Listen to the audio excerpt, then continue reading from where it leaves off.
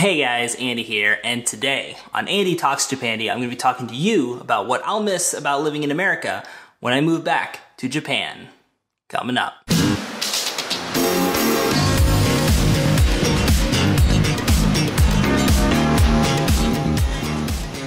Alright, we're recording. Hey gang, Andy here. Welcome to a brand new episode of Andy Talks Japandy. In today's episode, guys, I'm going to be talking to you about what I'll be missing from my life here in America once I move back to Tokyo, Japan at the end of the year, 2019. Woo. So, as always, let's just jump right into it. And typically when you talk to a lot of expats about things they miss from their home country, they talk about the four F's, and we're gonna be going over those today. The first F is family. Um, I currently live with my brother and his wife. I'm definitely gonna be missing them when I move back to Japan. And also my family back in Ohio and Michigan. I've been missing them a lot as well. But thanks to uh, technology that's come up in the past decade or so, uh, it's pretty easy to keep in touch. So when I was out in Japan the first time around, I was actually in contact with my family a lot more than I am now, if uh, I'm gonna be honest here. So I always call my mom every Sunday that I could just to talk with her, let her know how my week was, see what was going on with her, stuff like that. So it's definitely something I'm gonna be doing more of once I get myself back out to Japan. So, hi mom. you know, stuff like Skype and Facebook Messenger and FaceTime and all this other stuff definitely brings us a lot closer together, no matter where we are in the world. Despite that, there ain't nothing like the real thing, so definitely gonna be missing my family in real life. then the second F we're gonna be talking about is friends. So I'm gonna be 34 next month, and as I've gotten older, uh, my friend circle has widened or spread out rather. Um, I don't really have as many close friends as I used to, and the ones that I am close with, they're a lot farther away from me than they were before. Just like with family, I'm still able to keep in contact with them thanks to technology and stuff like that.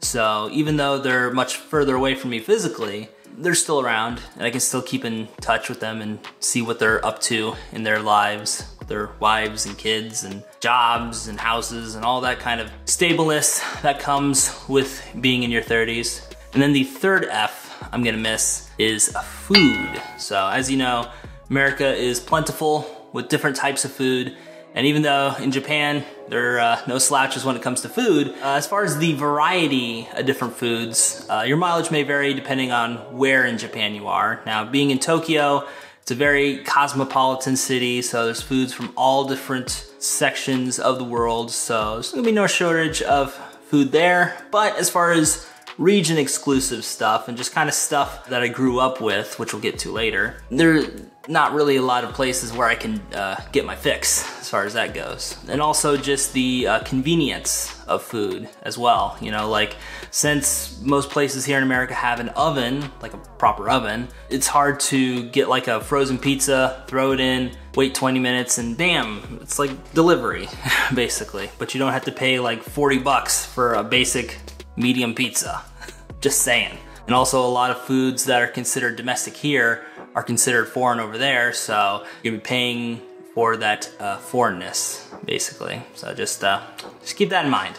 And then the fourth and final F we're gonna be talking about here in this video is familiarity. So I touched upon that in the previous F. Yeah, it's really hard to get that familiarity in Japan versus here in America where you can just kind of walk around and it's like you don't have to worry about translating stuff in your head. You know, if you speak English, you can just kind of go about your business and just be an ordinary person. You know, one of the things that I noticed the most about living in Japan was just my Americanness. I guess, and just the fact that I am an American. It's not really something I think about being in America where I just feel like I'm just an ordinary dude when you uh, live abroad, you definitely are more aware of your nationality than you were when you were in your home country.